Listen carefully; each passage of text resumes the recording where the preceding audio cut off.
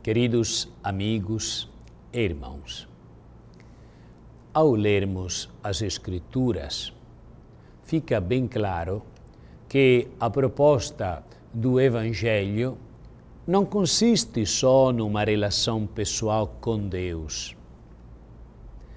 E a nossa resposta de amor também não deveria ser entendida como uma mera soma de pequenos gestos pessoais a favor de alguns indivíduos necessitados, o que poderia eh, constituir uma caridade assim por receita, uma série de ações destinadas apenas a tranquilizar a própria consciência. A proposta é o reino de Deus. Trata-se de amar a Deus que reina no mundo. Na medida em que Ele conseguir reinar entre nós, a vida social se torna espaço de fraternidade, de justiça, de paz, de dignidade para todos. Por isso, tanto o anúncio como a experiência cristã tendem a provocar consequências sociais. Procuremos o seu reino. Procure, procurai primeiro o reino de Deus e a sua justiça, e tudo mais vos será dado por acréscimo. O projeto de Deus é instaurar o reino de seu Pai. Por isso pede aos seus discípulos: proclamai que o reino do céu está perto. O reino que se antecipa e cresce entre nós abrange tudo, como nos recorda aquele princípio de discernimento que o Papa Paulo VI propôs a respeito do verdadeiro desenvolvimento. Ele dizia: todos os homens e o homem todo. Sabemos que a evangelização não seria completa se ela não tomasse em consideração a interpelação recíproca que se fazem constantemente o Evangelho e a vida concreta, pessoal e social dos homens. Este é o critério da universalidade próprio da dinâmica do Evangelho, dado que o Pai quer que todos os homens se salvem. E o seu plano de salvação consiste em submeter tudo a Cristo, reunindo nele o que há no céu e na terra. O mandato de Jesus, ide pelo mundo inteiro, proclamai o Evangelho a toda criatura. Porque toda a criação se encontra nesta expectativa ansiosa, aguardando a revelação dos filhos de Deus. Toda a criação significa também todos os aspectos da vida humana, de tal modo que a missão do anúncio da Boa Nova de Jesus Cristo tem uma destinação universal. Seu mandato de caridade alcança todas as dimensões da existência, todas as pessoas, todos os ambientes da convivência e todos os povos. Nada do homem pode lhe parecer estranho. A verdadeira esperança cristã, que procura o reino, gera sempre história. Já não se pode afirmar que a religião deve limitar-se ao âmbito privado e serve apenas para preparar as almas para o céu. Não. Sabemos que Deus deseja a felicidade dos seus filhos também nesta terra, embora estejam chamados à plenitude eterna, porque Ele criou todas as coisas para o nosso usufruto, para que todos possam usufruir delas. Por isso, a conversão cristã exige rever especialmente tudo o que diz respeito à ordem social e à consecução do bem comum. Por conseguinte, ninguém pode exigir-nos que coloquemos a religião de lado para a intimidade secreta das pessoas sem qualquer influência na vida social é, e na vida nacional, sem nos preocupar com a saúde das instituições da sociedade civil, sem nos pronunciar sobre os acontecimentos que interessam os cidadãos. Quem ousaria encerrar num templo e silenciar a mensagem de São Francisco ou da bem-aventurada eh, Madre Teresa de Calcutá?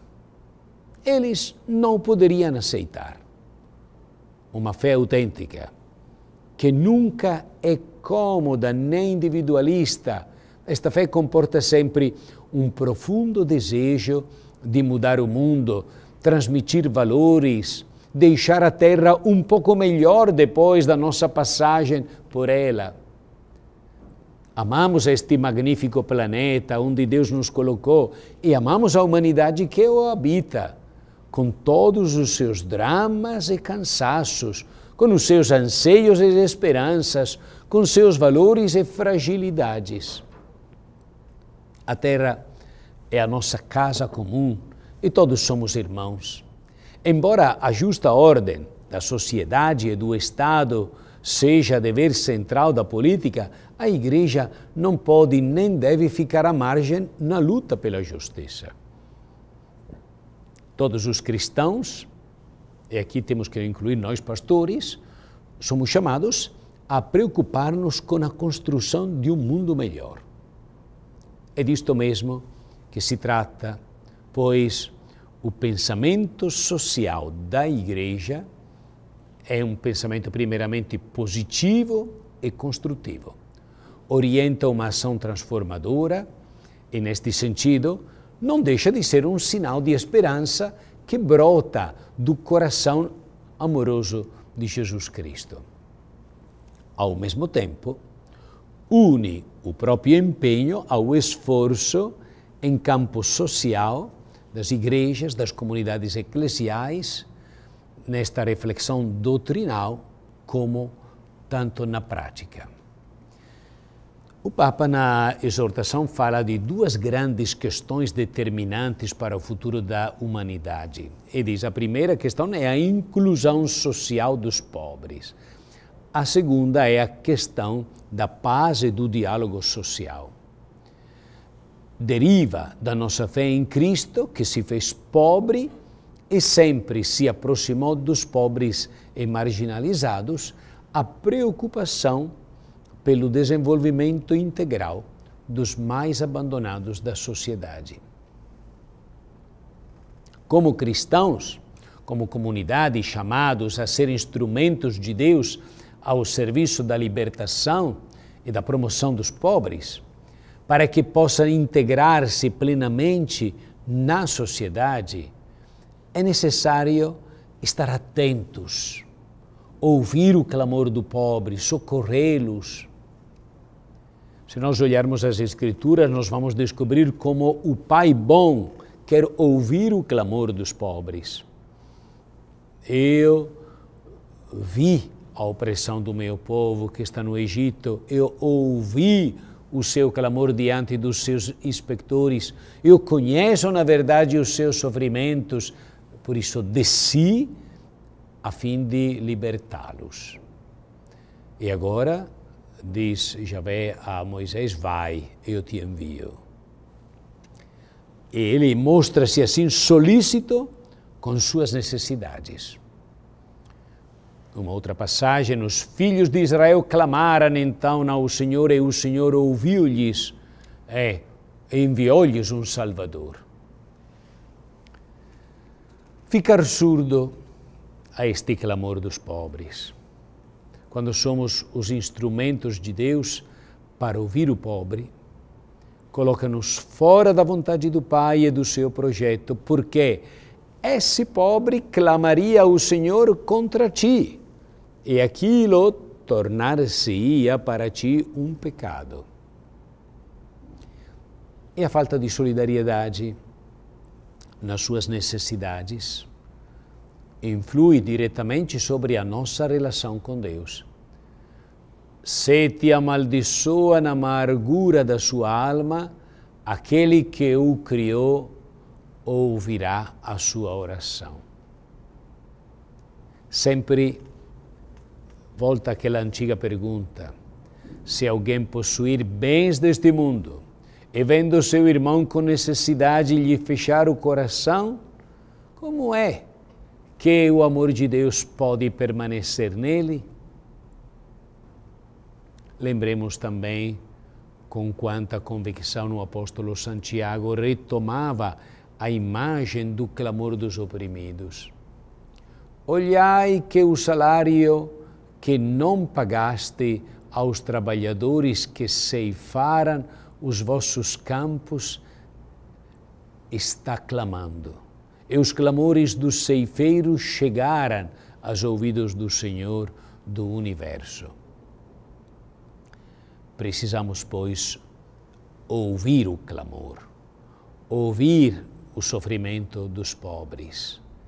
Este é o primeiro passo que nos leva depois a trabalhar e lutar para que eles possam sair da exclusão e se tornar irmãos amados por nós.